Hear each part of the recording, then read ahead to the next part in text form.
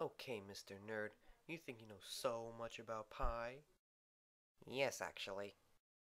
Well, have I got a challenge for you. Say pi backwards.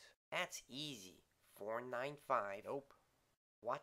Then it must be 2811. No!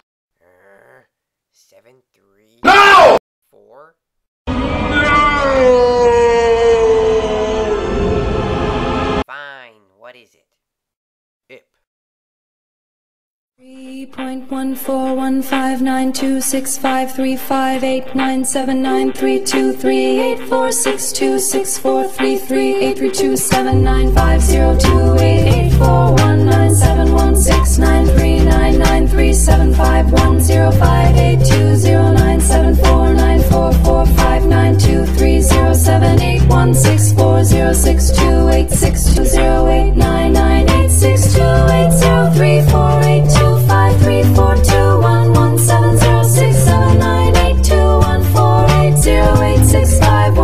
two eight two three zero six six four seven zero nine three eight four four six zero nine five five zero five eight two two three one seven two five three five